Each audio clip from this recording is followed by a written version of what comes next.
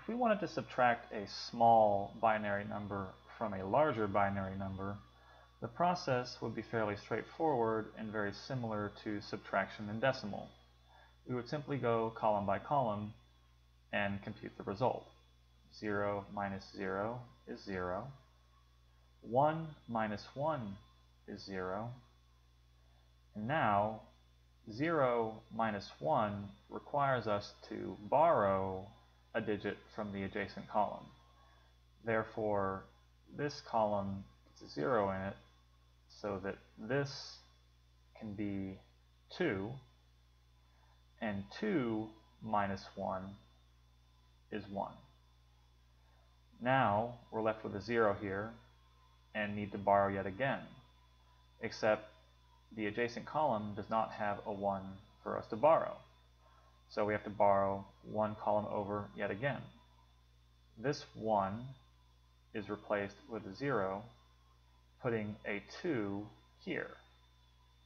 Now this column only needs to borrow a 1 to perform its subtraction.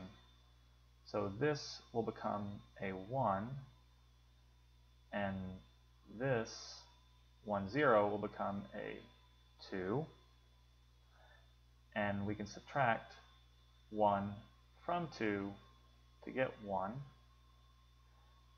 In this column now, 1 minus 0 is 1, and we have 0 minus 1, which requires another borrow.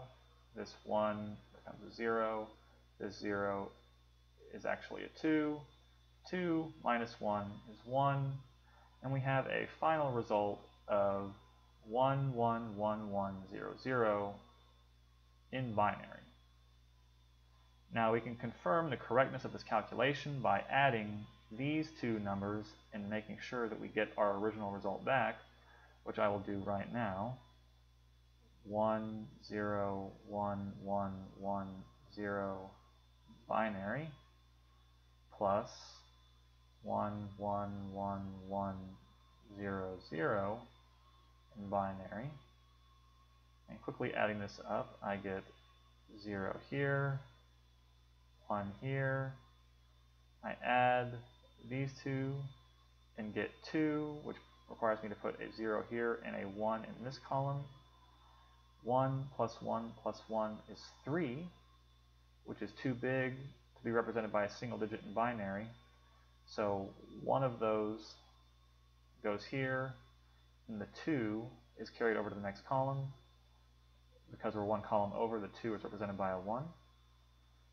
1 plus 0 plus 1 is 2 again, so I put a 0 here and a 1 there. And finally, 1, 2, 3 results in a 1 here and a 1, 1 column over. And this result is indeed the same, 1, 1, 0, 1, 0, 1, 0, is the original number that was here. So this subtraction works. However, you may want to know what happens if we subtract a larger number from a smaller number. Now, of course, this should be a negative result.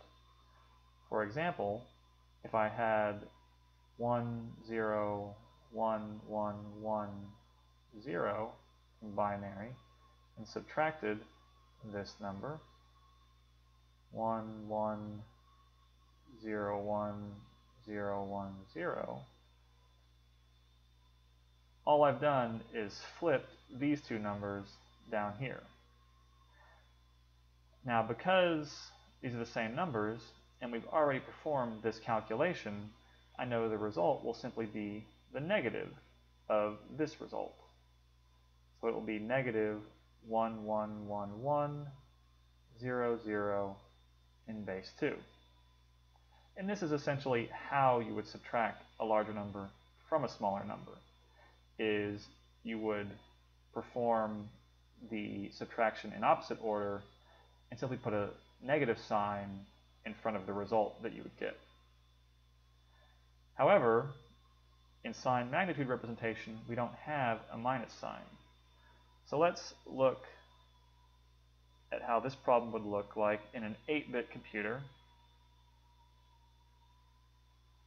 with signed magnitude representation. Now, fortunately, this is a 1, 2, 3, 4, 5, 6, 7 bit number, and this is a 6 bit number. That means in our 8 bit computer, there is a space to the left for us to have sign bits when needed.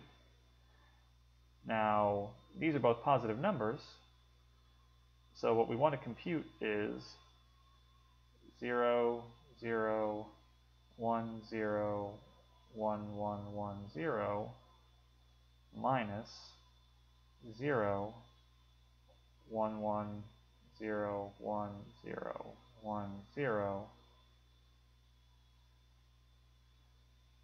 This number is simply this number in sign magnitude, and this number is simply this number in sign magnitude representation. So the computer just sees a sequence of bits. And then the arithmetic logic unit commands it to subtract this value from this value. Now because we are using sign magnitude representation, the computer has to perform the process that we would. It would figure out which one of these is larger, swap them,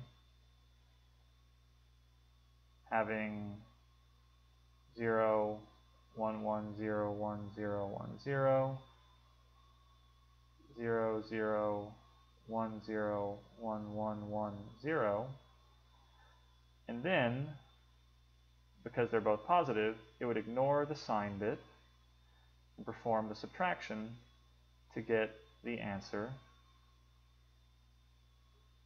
0, 1, 1, 1, 1, 0, 0 which it would then add a negative sign to because it knew originally that the larger number was on the bottom, which would ultimately yield a negative result with a 1 here.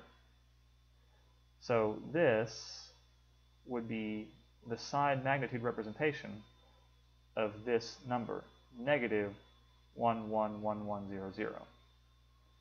Now, if that seemed complicated, it's because it is and in fact it is unnecessarily complicated. So much so that there is a better means of performing this kind of calculation via a different negative number representation, which we will learn about in the next module.